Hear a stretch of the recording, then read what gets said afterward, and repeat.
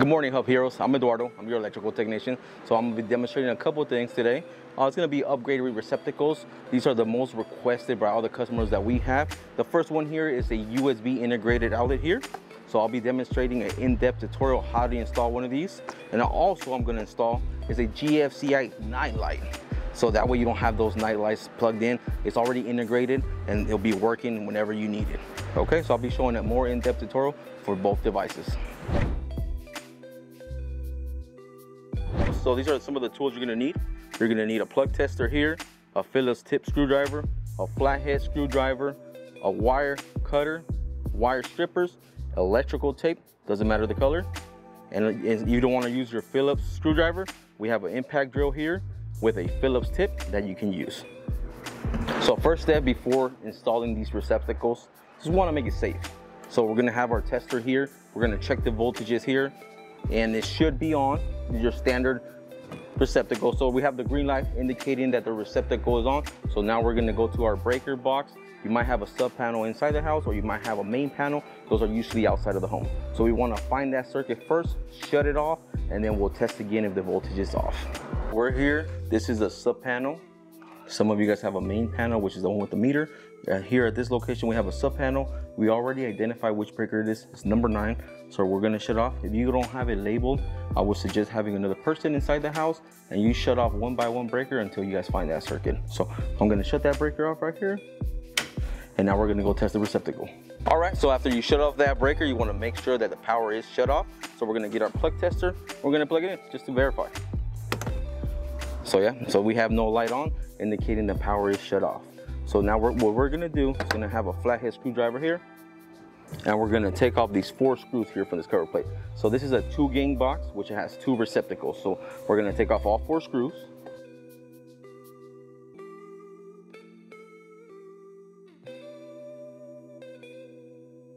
So now we took the cover plate, we're gonna grab a drill, take off these other four screws, two screws per receptacle. You can use a drill or you can use your standard Phillips and take them out. Pull the receptacle out, just like that. Sometimes you'll have electrical tape, just like that. Remove that electrical tape right around.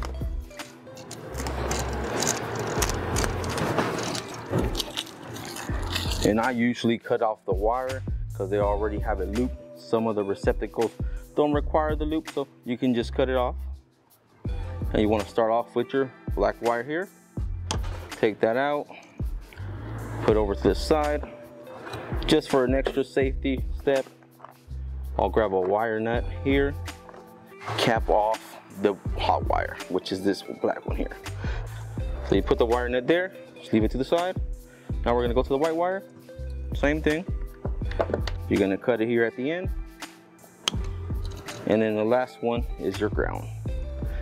And you're gonna repeat the same thing over to the other side. I'll put these wires to the side, you know, keep them together. That's, that's one pair there.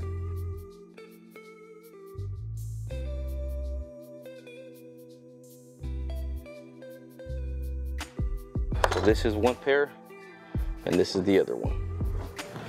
So now we're gonna start off with the integrated Nightlight GFCI.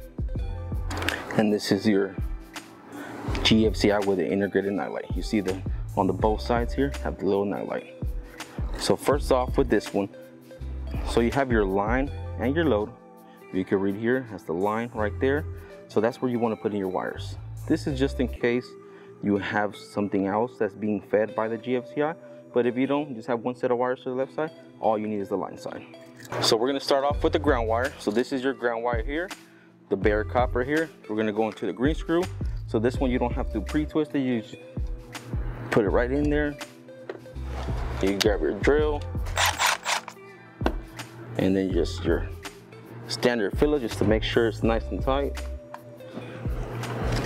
Give it a little tug, and that's good. The white wire that we cut back, we're gonna get some wire strippers.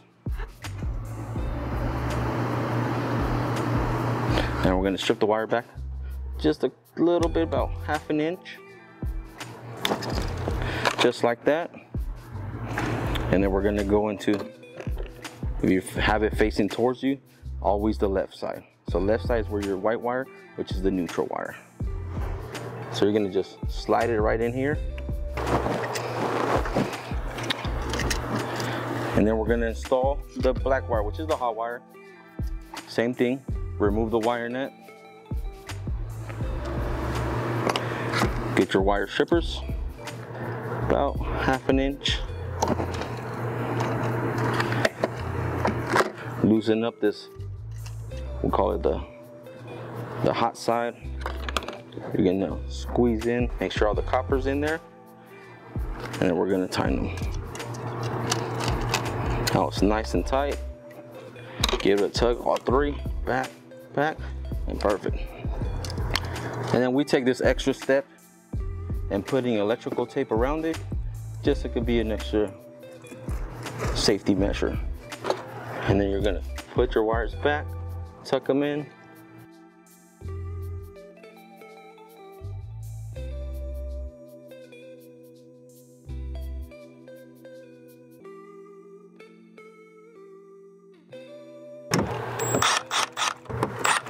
So I'm not gonna put the receptacle all the way in because I'm still gonna install the USB integrated receptacle, which is this one here.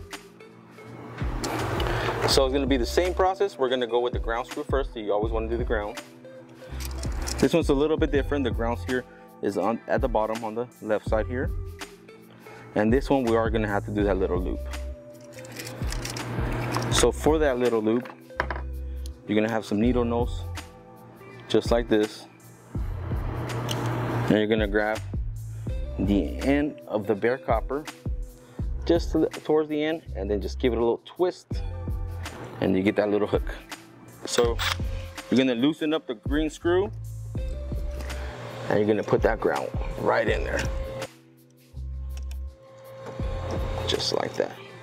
So now that it's right in there, get your Phillips and just hand tighten that. So now it's right on there. So this one's a little bit different. I'll have both screws on the side. Right behind it I'll actually say white wire and then your hot wire, which is, is gonna be your neutral. So make sure you put your white wire where it has the white and your hot wire where it has the hot. And we're gonna slide it right in there.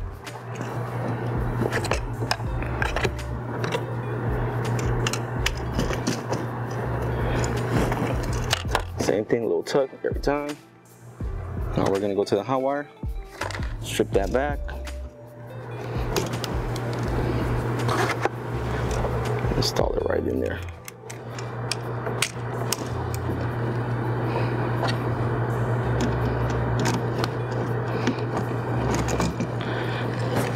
Nice and tight. A little pull. And there you go. Same thing, we're gonna put a little bit of tape around it just to protect the screw from touching any of the metal parts. And you're gonna just slide the wire back, make sure it's not getting stuck anywhere. The both screws inside.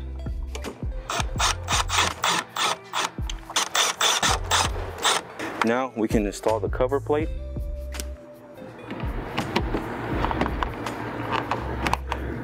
Just like that, slide it on there. And now you're ready to put those four screws back on. And there you have it. So you have your Nightlight integrated GFCI and you have your USB integrated tamper resistant receptacles. So we're, after you turn your breaker back on, let's make sure, let's test the, G, the receptacles to make sure they're working. So you're gonna use your plug tester one more time, plug it in. got that green light, that means it's working. Like the previous video, we press that test button, shuts it off, reset it just like that.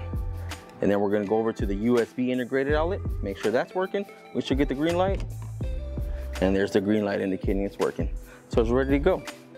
For any more electrical, HVAC, or plumbing videos, give us a like, give us a follow, and we'll have many more videos for you guys.